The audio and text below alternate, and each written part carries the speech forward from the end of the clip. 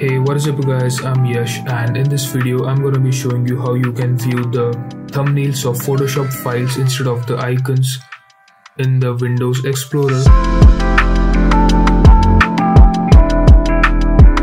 So if you're someone like me who deals with a lot of Photoshop files and it is hard to navigate through all of them, here's a solution for you. Go ahead to the link in the description and head over to this website go ahead and click on the download button and download the software.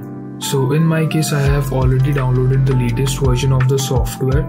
So before installing I would like to show you guys these PSDs. So as you can see there is no thumbnail all you can see is the icons of it. So I'll just minimize it. So go ahead and install this thing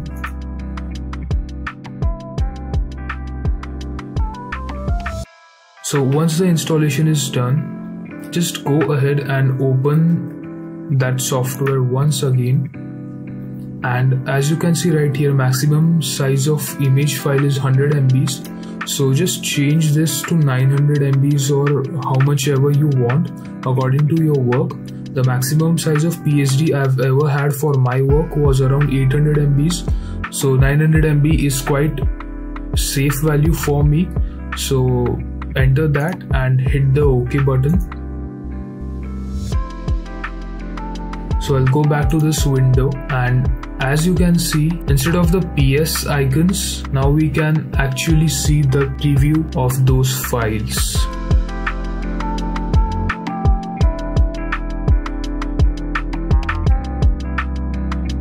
So that was it about this video I hope you liked it. If this video helped you in any way, make sure you hit the subscribe button. And if you have any kind of questions, drop them down in the comment section. I'll try to get back as soon as possible.